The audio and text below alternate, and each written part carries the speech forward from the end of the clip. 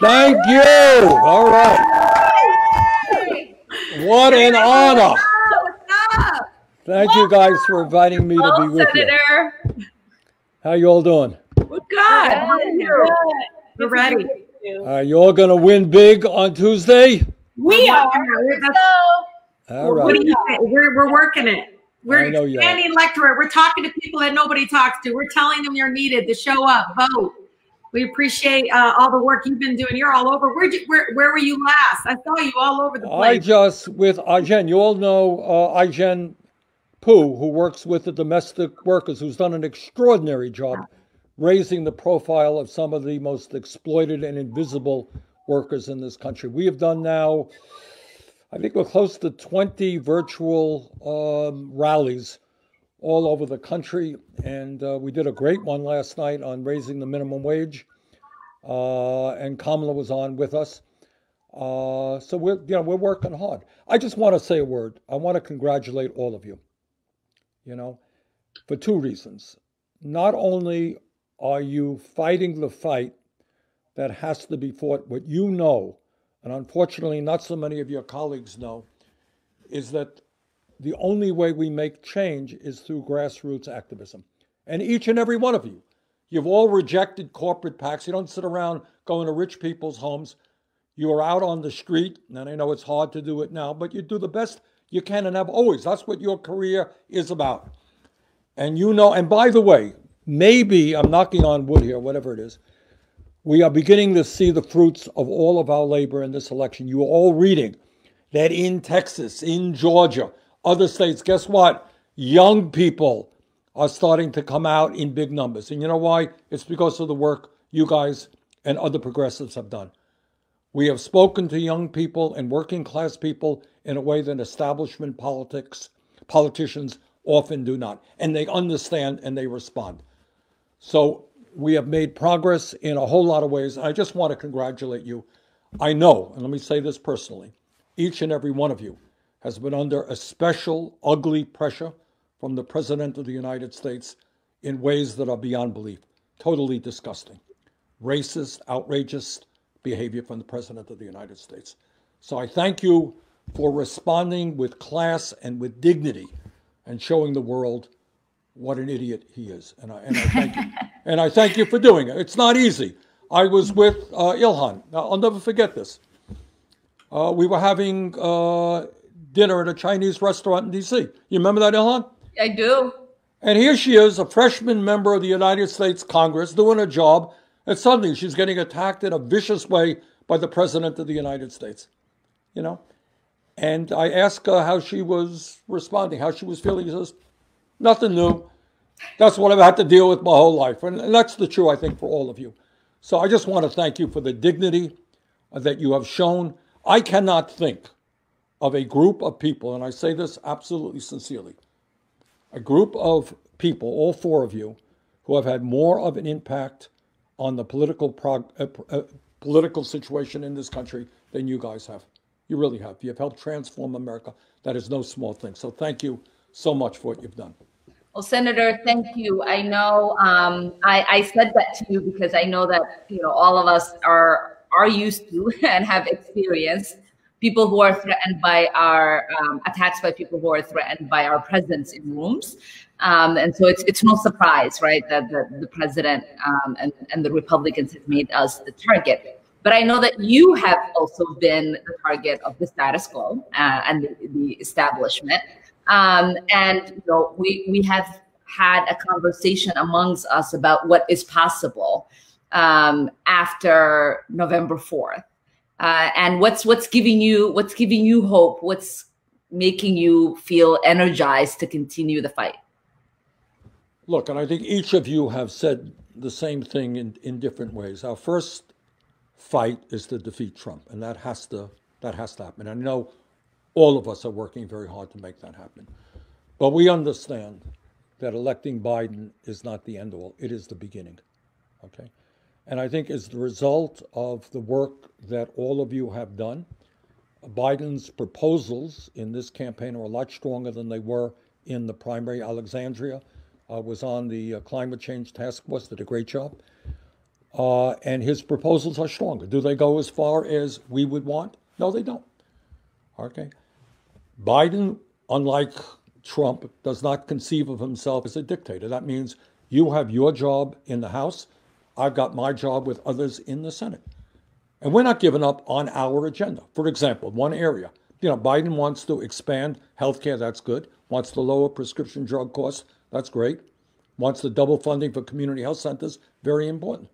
But you know and I know that at the end of the day, the only way that we're going to provide quality care to every man, woman, and child in an affordable way is through Medicare for all. And we ain't giving up on that struggle. All right? We're going to introduce Medicare for all. Believe me, we are. And we have, because of all of your efforts and the efforts of great doctors and nurses and others throughout the country, we got a majority of the people who support us. So thank you for that.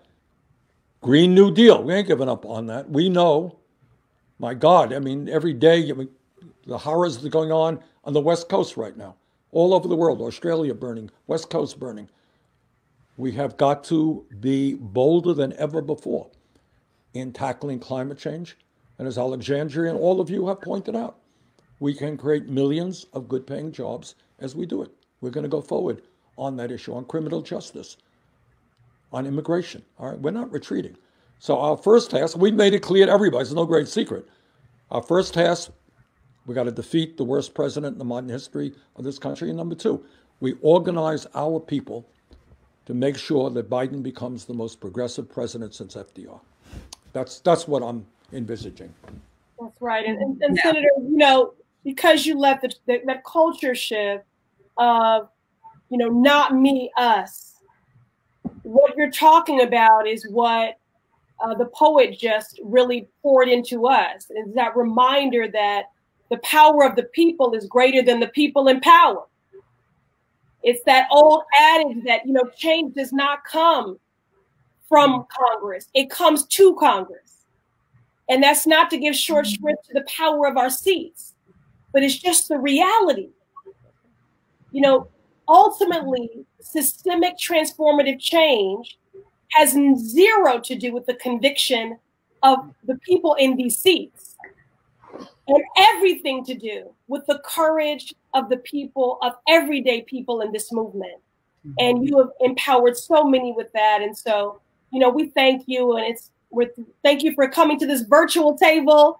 You know, as I said, we've all been heavy in these Zoom streets right now, doing everything we can to make sure that people understand, you know, clearly what is at stake and what is the most consequential election, not just in our lifetime, but in history.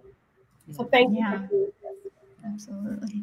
Yeah. And, you know, and the other thing too, Bernie, is that like we and and I and, and all of us, you know, we really thank you for normalizing. And this is and this is what this is what I've been telling our community and like how we're going to achieve our agenda moving forward. Normalizing bringing the ruckus on the Democratic Party because that was not seen as okay for a very long time. It was seen as extremely taboo for a very long time, and um, and it would result in so many people being ostracized and targeted. Which you know, you you built your your whole career enduring that, um, and now that that's been normalized, like every single one of us got our seats challenging the Democratic establishment in one way or another. You know, we weren't the favored, you know, D trip candidate, or we challenged incumbents, or whatever that may be. And now, from a grassroots perspective, people are realizing that, oh, we can hold our party accountable and put the fire on our party on our own party it doesn't have to just be republicans and in that way, we prevent the rightward drift of the Democratic Party. And people are, it's really completely reset the idea of one's relationship with the party that they vote for.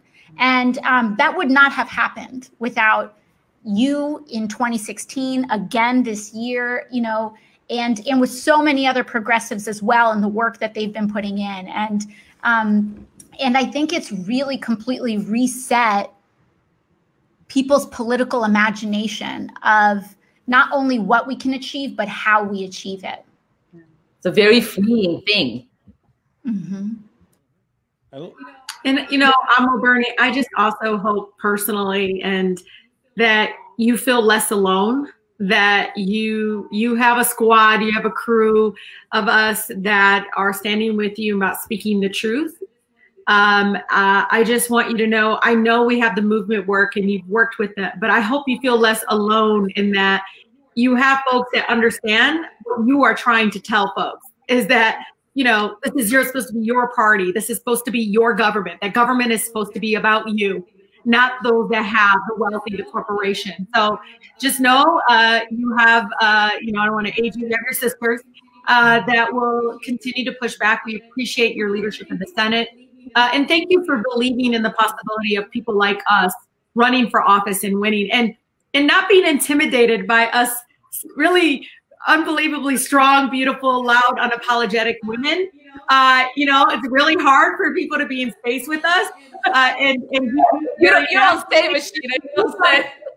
I, I still know. He seems all like cool about it. Like he's all right. Like yeah, this is like like you know family or something. So it is family. Look, Rashida, I have said this before, and I say it again. You know, somebody looking and say, "Hey, it's an old Jewish white guy. What does he have in common with these young people, women of color? What what and the answer is I have more in common with you than the overwhelming majority of my colleagues. Why is that? Because we come from the same place. We talk, we understand each other. We all come from similar, in different, but we all come from working class backgrounds. We know what it's like to struggle out there. So you're right. You make me feel less alone. It's true. And I love each of you. I really do. You guys are extraordinary, in each in your own way. And uh, just thank you so much for what you're doing. And we're going to go forward you, together. Yes, love you. After the election, we're going to squad up and continue to fight them, every injustice out there. Thank you so much for being with us. And, okay, and I love the fact that Rashida let you get a word or two in tonight. oh, yeah. Don't even start. Don't even start. That's how you know she's Alex, this is so important because I think that forever there was this the movement. You guys want to mute? We don't echo. There was this the the movement versus elected officials. The truth is there is an inside outside, but if you're getting it right, it's all one movement. Right. And so when we say that we're in solidarity, we're in the battle. We're not on the battlefield. We're in the battle. And that is the culture shift that has happened. And That's right along with ushering that in. So thank you, Senator. Okay, thank you, guys.